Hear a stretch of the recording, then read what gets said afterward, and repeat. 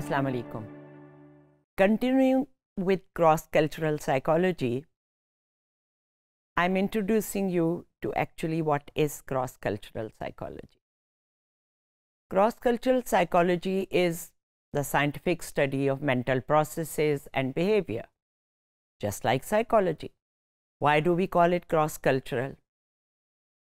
Because we are studying this behavior not at an individual level, but we are studying its variability as well as invariance.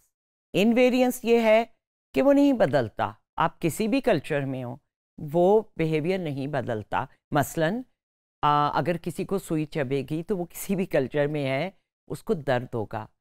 चोट लगेगी तो दर्द होगा। कोई खुशी वाली बात होगी तो स्माइल होगी। आ, लोग जब इकट्ठे होंगे तो वो खुशी या गमी का मौका होगा। लोग ख़ास किस्म का ड्रेस पहनेंगे। वो कुछ बातें ज़बान से कहेंगे और कुछ ज़बान के बगैर कहेंगे। उनके कुछ नज़रियात होंगे वैल्यूज़ सम नॉर्म्स के ऐसे करना है, ऐसे नहीं करना। तो ये चीज़ें कॉमन होंगी। So this we will call invariant but there is variance which means के आपस में फ़र्क भी होता है। तो ये क्रॉस कल्चरल साइकोलॉजी इस तरह स्टडी करती है।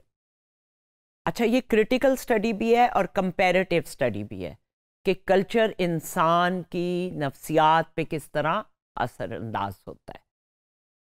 फिर ये जो साइकोलॉजिकल डाइवर्सिटी है विच मीन्स जो मुमासलतें हैं, जो तगैर है, जो फ़र्क हैं, जो मुतनवो, अनवाओ इकसाम के इंसान और अनवाओ इकसाम के डाइवर्स किस्म के कल्चर्स हैं।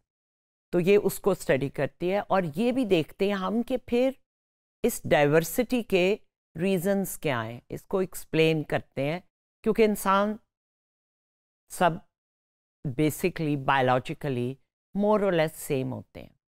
But there is also evidence that when people are born in Africa as opposed to in China or North America or the polar region, their skin, their color, uh, some of their biology biology is also different. So we'll look at the underlying causes of this diversity between cultures. Then we also take into account how this uh, human behavior is shaped and influenced by social and cultural factors.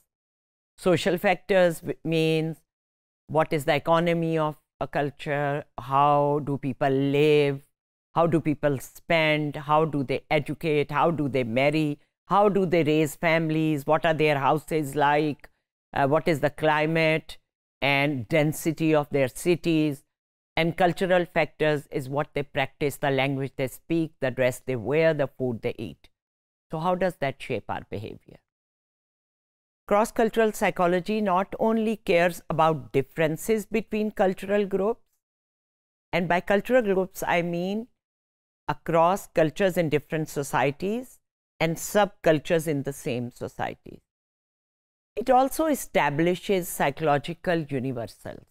Universals क्या होते हैं अच्छी तरह आप जानते होंगे A universal is a principle or a behavior or a phenomenon which you find across the universe in all places and countries and societies of the earth. And these universals are common to the people of many and perhaps all cultures. Then the structure of human personality, uh, which is called the relatively enduring pattern of thinking, feeling, and acting, is perhaps one of these universals. ये भी एक ऐसा ही है कि इंसान की एक शख्सियत होती है और उसका ख़ास तरीका होता है और सोचने का बिहेव करने का। क्रॉस कल्चरल साइकोलॉजी मुख्तलिफ़ है कल्चरल साइकोलॉजी से। कल्चरल साइकोलॉजी में हम ह्यूमन बिहेवियर डिटर्मिन होता है अलग अलग यूनिक इंडिविजुअल कल्चर्स से और उन यूनिक इंडिविजुअल कल्चर्स को आपस में कंपेयर कर लेते हैं। तो वो काफ़ी लिमिटेड है as compared to the cross-cultural psychology.